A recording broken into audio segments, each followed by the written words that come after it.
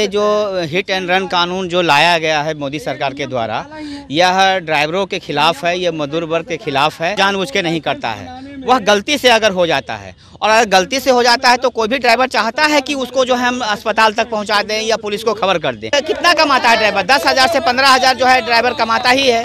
तो दस से पंद्रह हज़ार में वो सात लाख रुपए नहीं दे पाएगा। नतीजा यह है कि दस साल उसको जेल में भुगतना पड़ेगा। और अगर जेल में भुगतेगा दस साल तो उसका परिवार वाला क्या खाएगा, क्या पिएगा? लग रहा है जो आज़ाद भारत में काला कानून जो लागू किया गया है, इस कानून को वापस ले।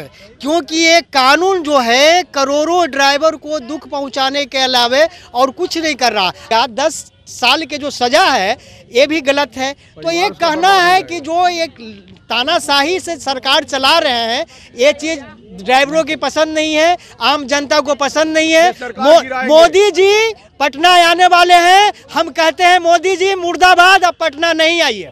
अब पटना नहीं आइए। नमस्कार मेरा नाम प्रिंस मिश्रा है और आप एक न्यूज़ ट्वेंटी फोर देख रहे हैं। जिस तरीके से अभी देश में हिट एंड रन मामला जो है काफ़ी विवादों में रहा है जो कि ड्राइवर जो है ट्रक और ड्राइवर जो है काफ़ी लोग जो है धरना विरोध प्रदर्शन करके मतलब अपना विरोध जता रहे हैं। हमारे साथ कुछ ड्राइवर संघ के व्यक्ति हैं उनसे बात करूँगा कि आप लोग जो विरोध कर रहे हैं हिट एंड रन मामले को लेकर के काफ़ी आप लोग विरोध प्रदर्शन लगातार कर रहे हैं तो क्या लग रहा है आपको?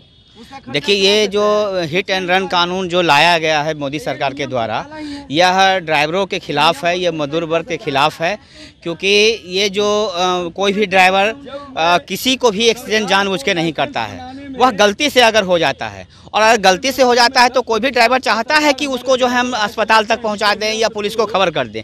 लेकिन यहाँ की पब्लिक ऐसी है कि उसको वो भीड़ इकट्ठा होती है और वो ड्राइवर को मारना शुरू करती है और उसको अधमरा कर देती है या कभी कभी उसको मार भी देती है। तो इसी डर की वजह से जो है ड्राइवर भागते हैं। उनको उनको जानबूझ के शौक नहीं है वो भागना। तो यह एक मजबूरी है तो इसके लिए पहले से ऑलरेडी कानून था कि अधिकतम दो साल की सजा जो है वो था।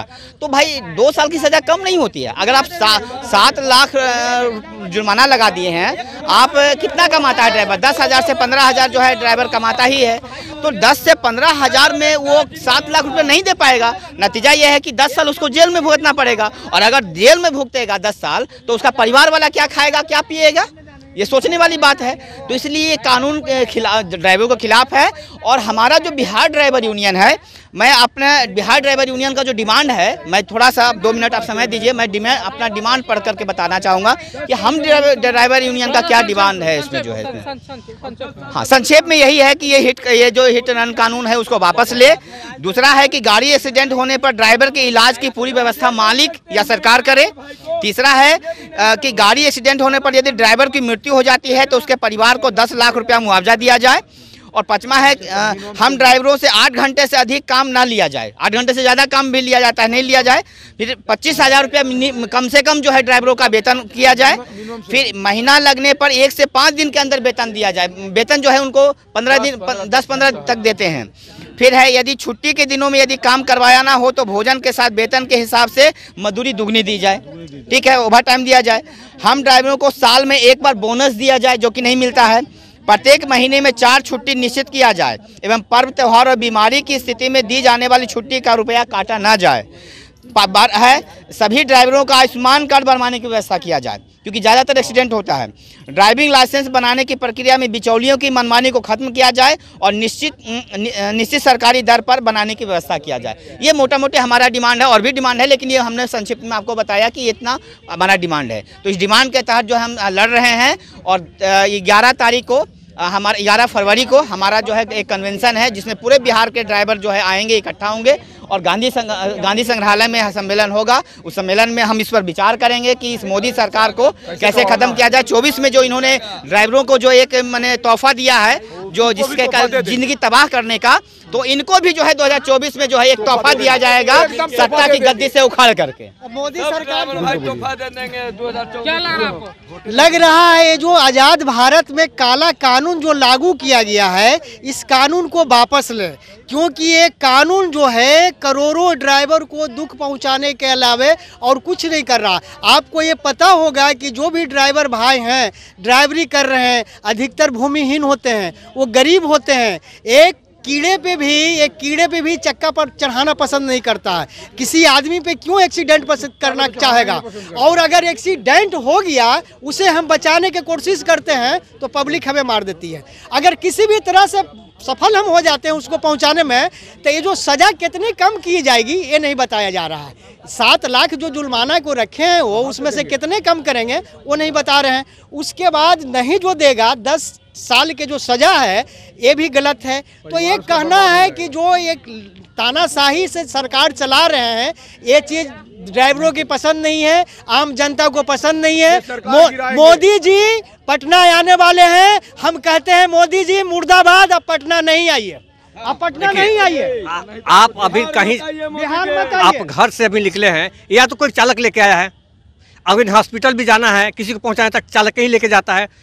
कहीं स्कूल जाता है तो ड्राइवर ही लेके जा रहा है। हर जगह ड्राइवर लेके जा रहा है। क्यों? ड्राइवर के ऊपर क्यों इतना दुखित किया जा रहा है? क्यों किया जा रहा है? तोहफा दे के दिए हैं ए, हमारे क्या बोलते हैं अमित शाह जी और हमारे देश के प्रधानमंत्री आ रहे हैं। बहुत खुशी की बात है।